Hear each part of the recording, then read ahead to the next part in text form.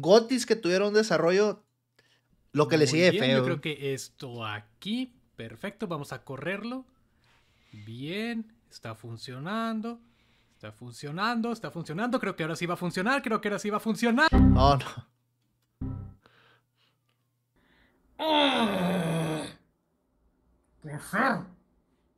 Literal. Esto de YouTube es como esa cosa del Sísifo, güey, la piedra esa. Hey, hola, ¿cómo están? Hacer un videojuego es un trabajo muy duro. Las compañías lo saben. Por eso siempre apresuran el desarrollo de los mismos porque a ellas chillando el güerejo. solo les interesa el dinero, matando cualquier tipo de creatividad en el momento. Entonces, cuando vean un juego así, no le echen la culpa a los desarrolladores, échenle la culpa a los directivos que no saben nada sobre videojuegos y que creen que un juego de Kirby sale en una semana con solo 3 personas. Ahora, ¿qué pasa cuando los desarrolladores, teniendo todo en contra, logran crear un juegazo? Teniendo el tiempo encima y teniendo los directivos detrás de ellos con sus decisiones todas estúpidas, pueden llegar a crear aún así un producto de gran calidad. Bueno, es Deja tú y si se la aventaban. de lo que vengo a hablar. Y no crean que es tan fácil, porque puede llegar a costarles desde su salud hasta la hipoteca de su casa. Como por ejemplo a mí me costó subir de peso. Primero que nada, voy a mencionar varios ejemplos. En unos haré más énfasis que No, a mí no me costó nada. Nada. otros y va a haber otros ejemplos que solamente mencionaré brevemente, porque ya hay muchos videos, documentales, videoensayos o lo que quieras sobre los desarrollos de esos juegos, y yo quiero abarcarlo desde una perspectiva más general. Probablemente la mayoría de ustedes, solo por ser fan de los videojuegos, ya tengan un acercamiento con lo que es el desarrollo de los mismos, ya sea viendo detrás de cámaras del desarrollo de sus juegos favoritos o incluso llegar a utilizar algunas de las herramientas accesibles para crear juegos No, aún así se sabe muy, muy poco, ¿eh? Hasta los videos que hablan acerca del desarrollo de un juego pierden muchos detalles, ya sea por NDAs, ya sea pues porque ha pasado mucho tiempo y la gente ya no se acuerda, porque pues no fueron creditados y no se sabe cómo contactar con ellos, porque quieren permanecer anónimos, porque uh, tú debes saber, pero es muy difícil saber como que toda la historia de un del desarrollo de un juego. Como por ejemplo, no sé, Unreal Engine o Unity. Independientemente de esto, seguramente ya se hicieron a la idea de que un videojuego no es trabajo fácil, y que muchas veces se requiere de un gran equipo de cientos o incluso miles de personas. Pero Eric, ¿qué hay de los juegos indies? Hay juegazos desarrollados por equipos muy pequeños o incluso por una sola persona. Y en eso tiene razón internauta promedio, pero en el desarrollo de los juegos indies los dos factores más grandes que se ven afectados son el presupuesto y el tiempo. Justamente por contar con un bajo o incluso nulo presupuesto, los juegos indies tardan mucho más en realizarse. Tenemos por ejemplo Undertale, que sí, es un juegazo hecho por una sola persona que tardó 32 meses, o dos años y medio. Claro que valió la pena el tiempo, pero un juego de esta calidad hecho por Siempre fue bastante para hacer Under. Bueno, es que se dice fácil, ¿no? una persona claro que va a ser difícil de realizar. Y solamente porque sé que será una de las pocas veces que hablaré de este juego en este canal, ¿En qué está hecho Undertale? Eso no lo sé, ¿eh? O sea, si es su propio motor, ¿no? Es Fear and Hunger, un juego con una atmósfera hermosamente tétrica, dificultad imperdonable y con un gameplay de RPG por turnos que fue desarrollado por un finlandés en un lapso de dos años. Claro, es común que un videojuego Game tome Maker. años en desarrollarse y conforme la tecnología avanza, los videojuegos se han vuelto mucho más complejos y cada vez toman más tiempo para hacerse, como por ejemplo Grand Theft Auto 6, que también para dimensionar el tiempo de desarrollo, le lleva más de 10 años de diferencia a su predecesor Grand Theft Auto 5, el cual fue lanzado 5 años después que su predecesor Grand Theft Auto 4, el cual a su vez fue lanzado 4 años después que su predecesor GTA 6 va a salir en 2026, ¿verdad? Cincho. Van a decir. eh, invierno, ¿no? Otoño, 2025. Y luego, como siempre, se va a retrasar medio año. Y luego van a decir, bueno, pues para una buena época, noviembre. Ya los conozco. Grand Theft Auto San Andreas, el cual fue lanzado dos años después que su predecesor, o bueno, podemos llamarlo así, Grand Theft Auto Vice City, el cual fue lanzado un año después que su Pues mejor así, mejor a mi PC. No, deja tú. Va a salir para consolas. Para PC, quién sabe. predecesor Grand Theft Auto 3. Todo esto también depende de qué tanto quieras meterle a tu juego. Si la verdad no te interesan detalles y la calidad, puedes armar cualquier basura rápido como Meme Run. Pero bueno, puedo seguir hablando de casos de éxito de juegos independientes como Minecraft, Shovel Knight, Terraria o Stardew Valley, por nombrar algunos. Pero quiero que se Tengo un libro. ¿Cómo se llama? Es del Jason Schreider. El de Sudor, sangre, sudor y pixeles. Y el vato eh, cuenta, ¿no? Pues hizo la entrevista al creador de Stardew Valley. Y la neta, la historia está muy perra. El vato se enfermó de perfeccionismo. O sea, literal, el vato dijo, bueno, pues mientras. Y luego se empezó, se empezó a clavar, a clavar, a clavar, a clavar, a clavar. O sea, ya no se separaba de la, de la PC. Y así estuvo un putero, güey. Y su esposa lo apoyó machín. O sea, que su esposa agarró part-times y la madre. Trajito así para poder seguir adelante. Pero está muy interesante el desarrollo de Stardew Valley. Y el vato batalló muchísimo para decir, ok, ya quedó. Pero batalló un putero. Y hasta la fecha sigue metiéndole mamada. Ahí se actualizó otra vez sepan lo que pasa cuando desarrollas un juego y tienes detrás tuyo a una compañía grande a la cual solo le importan los números, y que quieren que todo sea lanzado en los días y meses próximos a Navidad para aprovechar justamente esta época de sembrina. Que de qué Y se lo aventó todo él, todo él, hasta la música, y no tenía ni puta idea de nada, Creo que ahorita cuenta como, bueno, ya hace un par de años, no esa información, pero contaba en ese momento con una persona que le ayudaba como en cuestiones legales o de comunicación y otra persona que le ayudaba como game testing y eso. compañía estoy hablando? La verdad podría ser cualquiera, pero quiero empezar a hablar del desarrollo de un juegazo que no sabía que había sido horrible. Halo. el vato se hizo putrimillonario, eso sí. ¿eh? 2.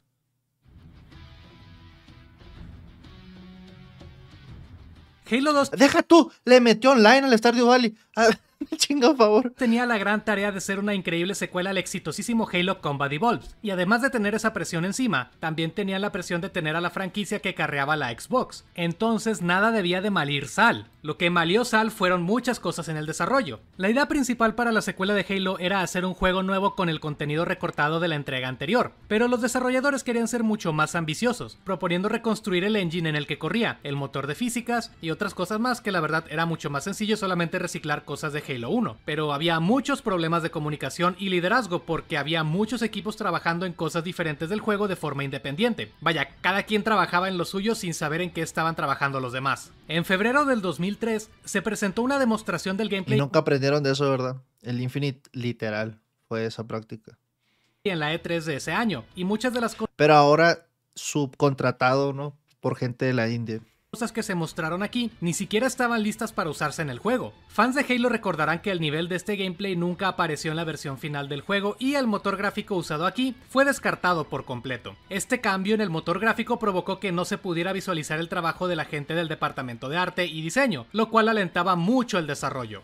Hola, ¿qué tal jefe? Ya le envié el nivel que me pidió. No hay motor donde podamos revisarlo. ¿Qué? Vas a tener que esperarte unos cuantos meses hasta que esté listo. Hasta entonces lo vamos a revisar. ¿Y no hay alguna otra forma en la que me lo pueda revisar? No, cuando esté lo vuelves a hacer.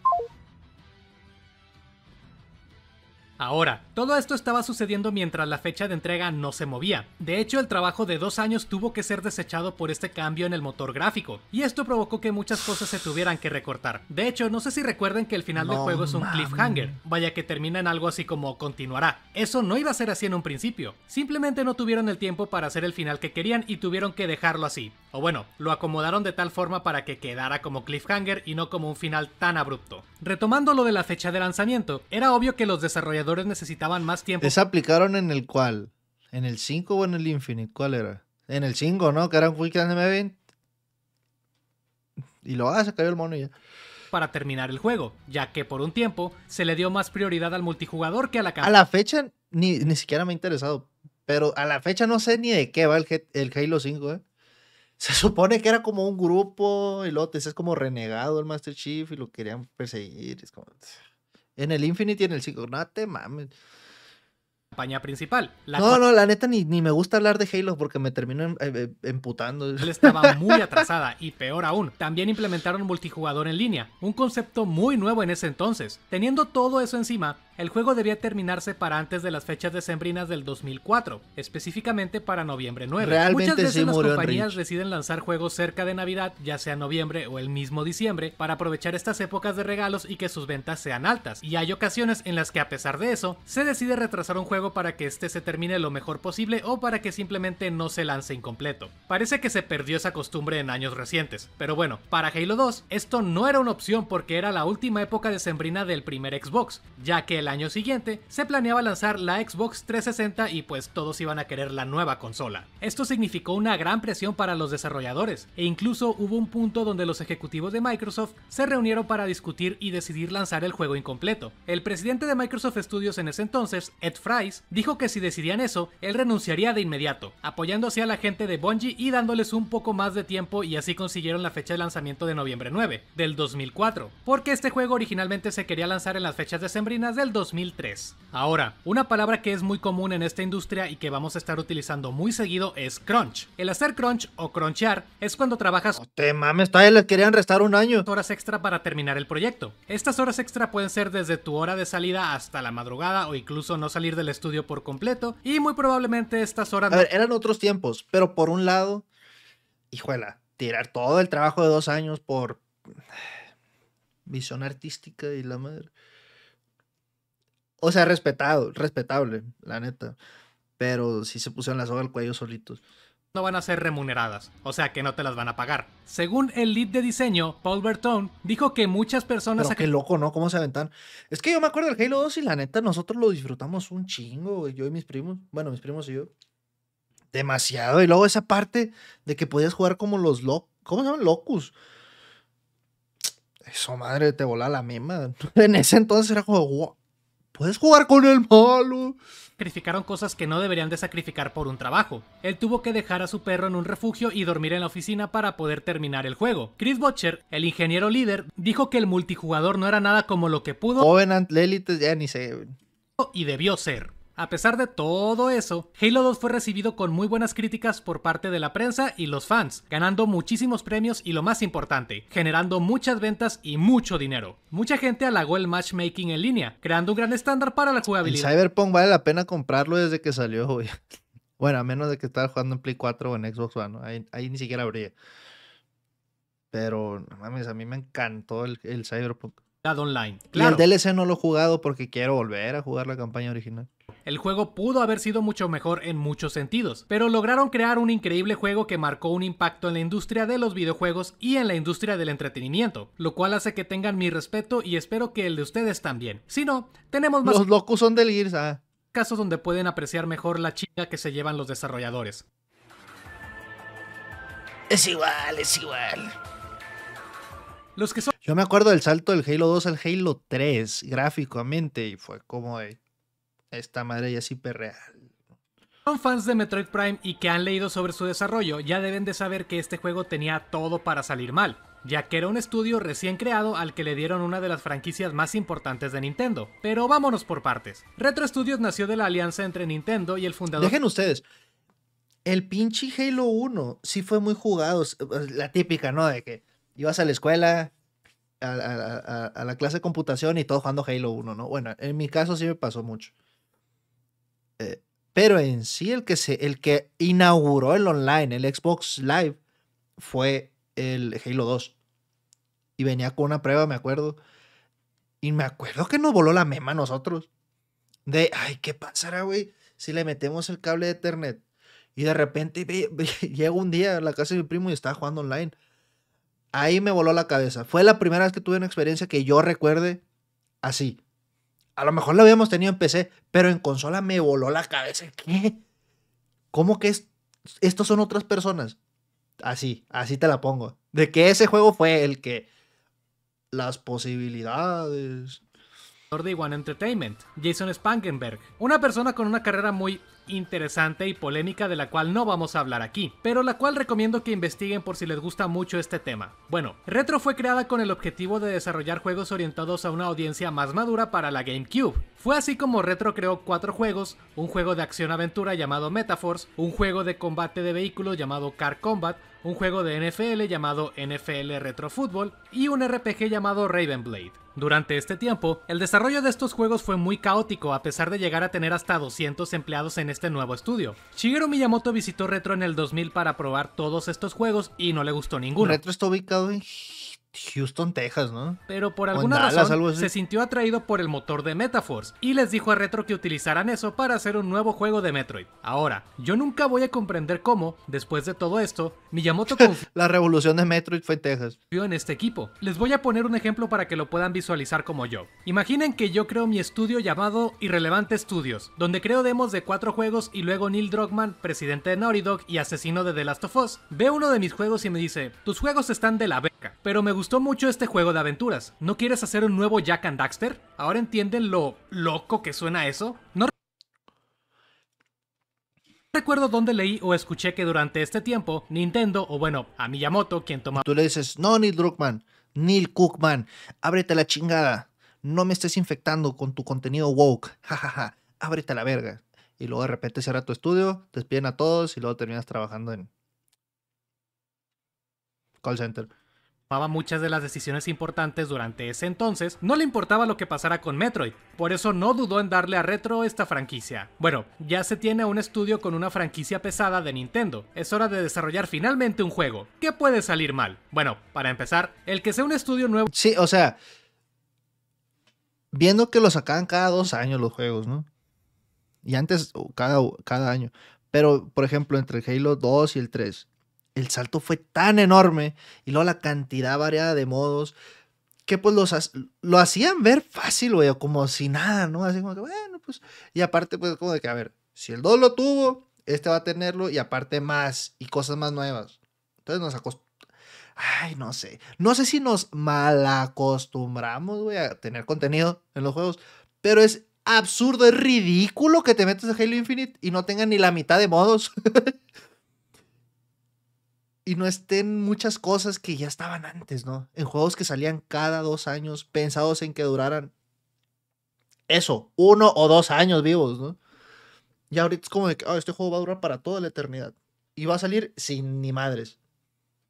Nuevo no significa que está conformado por gente completamente nueva en la industria. Dentro del equipo había mucha gente muy experimentada y sobre todo talentosa. Además de que Retro no trabajaba completamente solo, ya que trabajaron en conjunto con Nintendo EAD y Nintendo RD1, los cuales eran los estudios de investigación y desarrollo de Nintendo en Japón. Eso también es una buena señal, ¿no? Pues como a todos en nuestros 20s, nos hace falta un buen golpe de realidad. Primero que nada, los niveles que desarrollaban para el juego necesitaban el visto bueno de Nintendo, el cual no llegaba muy fácil. Según un desarrollador, pasaron 6 meses para que Nintendo les aprobara el primer nivel del juego y tenían menos de 6 meses para hacer Y es que aparte es un es- es- era demasiado ambicioso. No existía un Metroid así, güey. No, no más no. Esto era como subirte muchos peldaños, ¿no? A la dificultad, a la ambición y al tamaño. hacer lo mismo con el resto de los niveles. Uno de los artistas Y mencionó que aparte, en esos tiempos, pues imagínate Miyamoto con sus bebés. Era como. No. ¿Por qué? Porque no.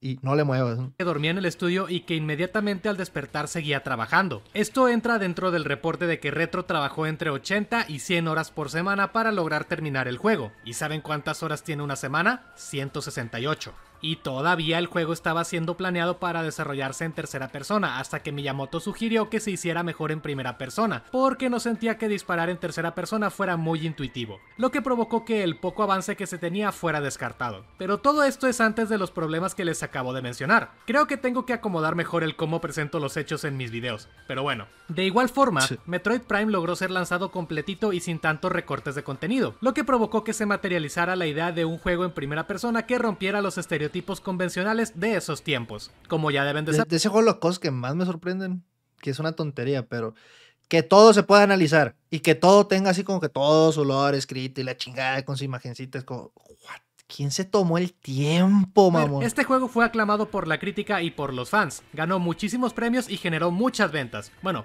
para los estándares de la GameCube. Y qué casualidad que, bueno, hace rato mencioné a Naughty Dog, porque ellos también son culpables de exigir una exagerada cantidad de crunch en sus juegos. Pero el ejemplo que siempre se me viene a la mente es el siguiente. Ah, ese también, güey, sale en el libro que les digo. Nah, hombre. Este sí fue un milagro. Este sí, o sea, para empezar, como dice el libro, y como dice, pues están de acuerdo todos los desarrolladores, que un videojuego salga a la venta ya es un milagro por sí solo. El desarrollo de Uncharted 4 empezó con muchas cuestiones. Primero que nada, ya deben de saber que los responsables de dirigir muchos de los juegazos de Naughty fueron Neil Druckmann y Bruce Straley, pero una persona... El verdadero genio es Bruce Straley. Neil Druckmann le absorbió todo y le dio una patada en el culo, güey. Güey, estos vatos eran mayates. Por, así te la pongo, ¿no? Eran como mejores amigos. Lo más cabrón del asunto es que Bruce Straley era el chingón de Naughty Dog. Y él, era, él era el mentor de Neil Druckmann. Y Neil Druckmann, a la primera que tuvo oportunidad, degolló a todos los directivos y sobres, escaló en la, en la escalera corporativa. Luego también estaba la otra, ¿cómo se llama? Amy, Amy Jamie, eh, eh, algo así se llama la mujer esta y que es importantísima también es la mamá de, de, de, Uncharted. Bien importante era la escritora Amy Henning. ¿Quién se Ella, Amy se encargó de ser la escritora? Ella ah, ya ha dicho comentarios, ha soltado cosas. No se ha abierto mucho al respecto. Pero ella, pongamos en palabras bonitas, aborrece a Neil Druckmann escritora y directora creativa de los primeros tres juegos de Uncharted. ¿Que por qué estoy mencionando a esta persona? Porque pues es una persona importante en la franquicia y debido al éxito de los juegos anteriores, lo más lógico es que esta persona siga a cargo de estas cosas en el siguiente juego. No, pues la despidieron junto con el director Justin Richmond. Se dice que fueron forzados a salir, pero esto lo ha desmentido la gente de Naughty Dog. Esta salida por... Amy Wait, ella, ella básicamente es como que fundadora también de Naughty Dog, es como provocó que Druckmann y Strelly tomaran el control del juego y esto provocó que los 8 meses de trabajo que había escrito Amy se tiraran a la basura. Esto también trajo dificultades en el desarrollo porque contaban con tiempo limitado para desarrollar una historia nueva. El poco tiempo que tenían provocó una jornada de crunch de 12 horas al día cerca de la fecha de lanzamiento, lo que obviamente causó que muchos desarrolladores no estuvieran felices. Este crunch también causó la salida de Bruce Straley una vez terminado el juego, y por consecuencia, la decadencia de Naughty Dog, pero ese es otro tema. Straley mencionó en una entrevista que no le gustaría volver a trabajar en Uncharted 4 por todo lo que vivió. También esto se combinó con su falta de motivación, ya que mencionó que no sentía la misma emoción que sentía cuando comenzó a trabajar en el primer The Last of Us o en Uncharted 2. Ahora, quiero creer que una de las mayores razones del desarrollo turbulento de este juego fue la dirección de Neil Druckmann y lo mucho que adora aceptar críticas. Primero, sé que durante este desarrollo, Druckmann y Straley tenían muchas visiones diferentes sobre hacia dónde ir, y esto creaba muchos bloqueos en el desarrollo. Neil es bueno, obviamente, pero necesita que alguien lo pare, güey. Y el problema con The Last of Us 2 es como de que no mames, este es el mesías de los videojuegos. El próximo Kojima, ¿no? Como cine de autor, ah, videojuegos de autor, visión de autor. Ese es un problema, güey. Porque este vato es bueno con las ideas, pongámoslo así. Pero obviamente en otras cosas flaquea bien, cabrón. Y el problema que tuvo con The Last of Us 2 es como de. Nadie podía decirle que no. Y aparte ya era el chingón. De chingones tiene, un jefe arriba, ¿no? Obviamente, pero, pero ya era el mero mero, güey. Entonces imagínate que, que le iba a decir nada, ¿no? Y siendo The Last of Us la gallina de oro, pues es como de que, bueno, pues aquí está todo el presupuesto. Y todo lo que diga sí. Llega a mencionar un ejemplo en donde debido a esto, ambos no se ponían de acuerdo sobre si incluir una parte de sigilo o Fíjate que yo pensaba lo mismo, que me iba a sentir como con Toy Story 4 con Uncharted 4. Pero está tan pasado de verga el juego. La neta. está impresionante cómo se ve. No puedo creer que ya tenga 8 años. Que. Que no, tengo otro, otro recuerdo de, algo que. de algo del medio. O un producto de entretenimiento que tenga cuatro partes. Y se vaya poniendo mejor cada vez. Bueno, en lo personal prefiero el 2 que el 3. El 3, ah, el ritmo está medio raro. En algunas partes. El 2 es, uh, es magia. Pero el 4, bueno, quitando la parte, güey, ya lo último donde... Que se siente igual que en el Red Dead Redemption 2. Que va a una isla, güey, ¿no? Con pirata casi, casi acá. Naufragó en una isla. Es como... Ah, ya en esa parte ya está así como... Por favor, ya que se acabe esto. No en un nivel del juego, cosa que al final no se incluyó y esto provocó que se tiraran a la basura tres semanas de trabajo completas. Y claro, eso es parte del desarrollo de juegos. Cosas completas son desechadas por falta de tiempo. Digo, yo llegué a trabajar en juegos que fueron cancelados antes de siquiera ser anunciados. ¿Qué tal, jefe? Ya le envié los personajes para el juego de Bible Black y déjeme decirle que los modelos quedaron bien. Mm. Eric, cancelaron el juego. ¿Cómo? ¿No viste el comunicado que acaban de hacer en redes sociales? Pero ¿no cree que hubiera sido algo mucho más profesional avisarnos a los desarrolladores primero antes de publicarlo en redes sociales? El 1 a mí no me gusta. A mí no me gustó. No me gustó en su tiempo, menos me va a gustar ahorita. El 1 se me hace muy mediocre. ¿Y enterarnos igual que todo el público? Mm, nah. Pero que se desechara por desacuerdos entre los directores creo que es un poco más desmotivador. Otro ejemplo que quiero mencionar es la discusión que tuvo con un tester. Vaya, una de las personas que prueba el juego para encontrar errores y probar otras cosas que ya estén listas. Esta discusión se dio debido a que, originalmente, dentro de la historia del juego, la hija de Drake y Elena iba a ser niño, pero Druckmann, inspirado por las opiniones feministas de una famosa crítica que seguramente muchos conocen, Anita Sarkeesian, quería que se representara a las mujeres como más independientes y empoderadas. Cuando el Esther criticó este cambio, Drogman le pidió que se retirara mientras decía, wow, porque eso importa. Ahora, yo sé que están pensando en que esto es inclusión forzada y su chingada madre, pero esto no va tanto por ahí. Claro, yo no estoy en contra de que se represente a las mujeres de esa manera siempre y cuando no. Da igual, es un pinche personaje ni secundario, es que nada, es nada. No importa, no existe, pero si hacen un Uncharted Origins, no, bueno, un Uncharted Generations, ella va a ser el nuevo el Nathan Drake. O sea, forzado. Y la verdad creo que para esto, Sarkisian no es la mejor opción porque yo personalmente creo que sus opiniones son muy extremistas y unas tienen fundamentos muy pobres. Pero lo que quiero dar a entender con todo esto, además de que siento que ella no es un buen ejemplo, ni jugaba esa ruca que dice. Es la forma en la que toma la crítica Neil Druckmann. Digo, no creo que sea necesario tomar tan a pecho una crítica como esa para retirar a alguien de donde estamos, pero bueno. A pesar de todo esto y seguramente más cosas que no conocemos, el juego fue lanzado completito y siendo un tremendo éxito y como los ejemplos anteriores, recibió muy buenas críticas y logró vender tanto que es uno de los juegos más vendidos de la PlayStation 4, pero a un gran costo. Seguramente han escuchado por ahí una noticia de que después del lanzamiento de Uncharted 4, el 70% de los desarrolladores renunciaron, y sí fue... Es que, güey, ay, Diosito, el, el efecto que provocó The Last of Us 2 y el remaster de The Last of Us 2 y el remake de The Last of Us 2 y el remaster del remake de The Last of Us 2. Que se te olvida que Naughty Dog, por una década, significó la calidad más alta, lo más alto de todo. Estaba viendo el documental de The Last of Us 2, justamente, y hasta que no estaban platicando ese pedo de que es que lo hacemos así porque somos Naughty Dog. Top en absolutamente todo. Los mejores artistas, los mejores desarrolladores, lo mejor de todo. Así, top en todas las áreas. Y que se desperdicie, güey, estando haciendo remakes y remaster de pinche Last of Us.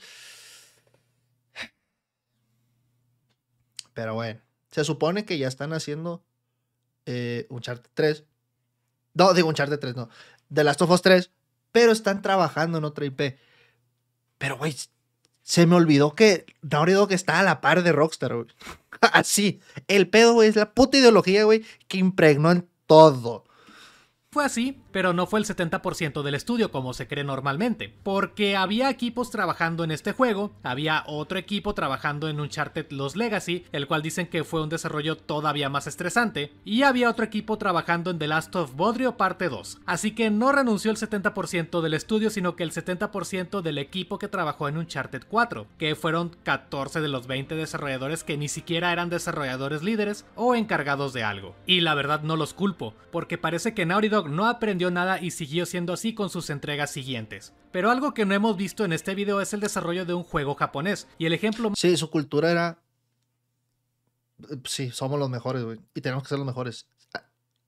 Aspiran a eso, güey.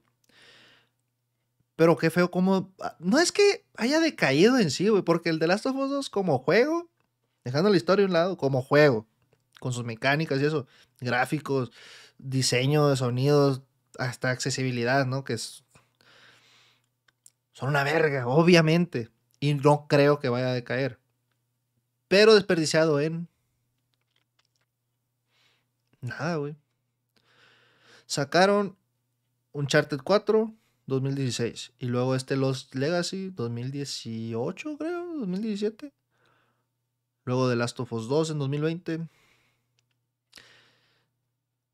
Sé que los desarrollos son muy largos, pero como se como, como era en, en The Naughty Dog, era que había dos equipos. Uno desarrollando, haciendo los, los fierros del universo, del juego, lo que sea, y otro echándole talacha. Y luego los últimos desarrollos fue como de que el segundo equipo que empezaba con la idea paraba, iba a ayudar a terminar el juego y luego ya retomaban. Le mandaban otra vez así. Pues. Más perfecto que tengo es...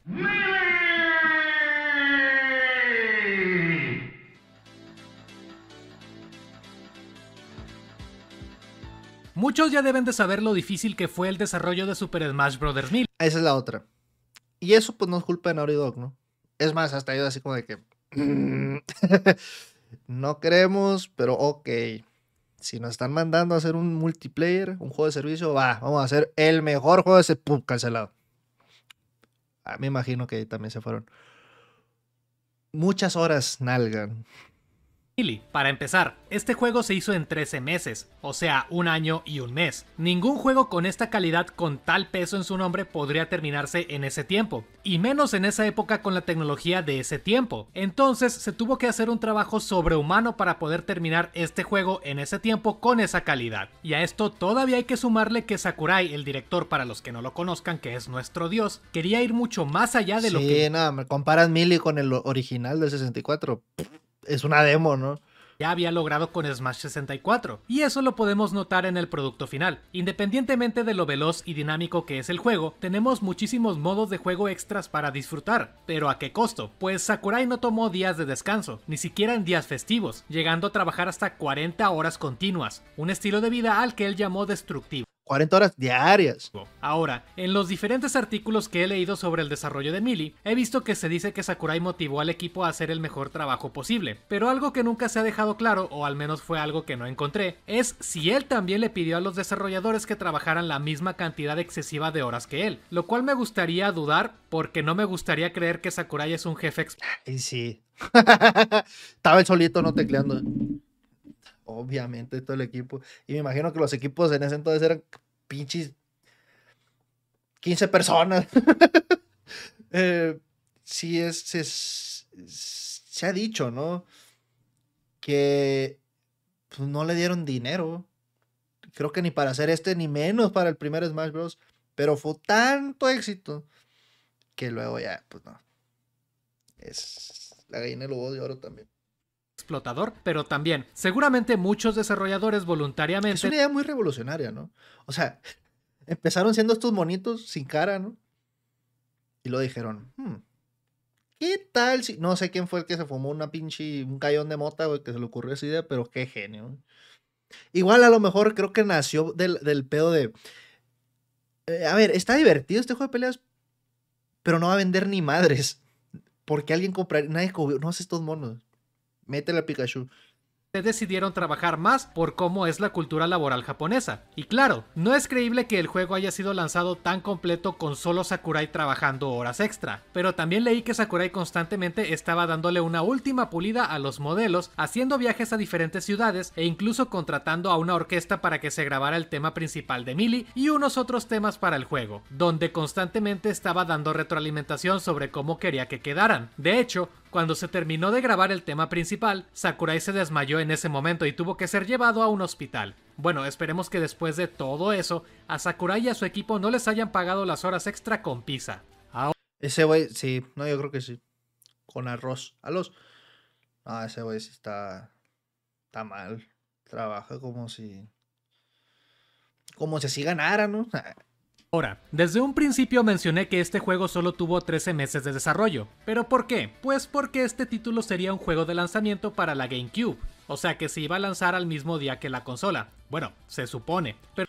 Alexa, ¿cuándo salió el Smash Bros. de 64? Aquí tienes una respuesta de un usuario de Alexa Answers que he traducido. Super Smash Bros. 64 se lanzó en Japón el 21 de enero de 1999 En Norteamérica el 26 de abril de 1999 y en Europa el 19 de noviembre de 1999. No mames. Pero terminó saliendo pocos meses después. Ahora saben por qué ningún juego de Smash volvió a ser un título de lanzamiento para una consola de Nintendo. No, Era un pues. tiempo demasiado apretado, incluso tuvieron que pedirle ayuda a Satoru Iwata, alguien que en ese entonces ya tenía un puesto administrativo, pero que sabían que era tan buen programador que podía echar una mano muy buena. Este límite de tiempo también provocó que se recortaran bastantes cosas de última Qué raro, ¿no? O sea, Nintendo ahí ya era Nintendo. Y este pedo de, hijo de la mano, uy, otro programador, uy, yo creo que no se va a poder, ¿eh? ahí tenían que ser los hombres orquesta, güey, haciendo toda la...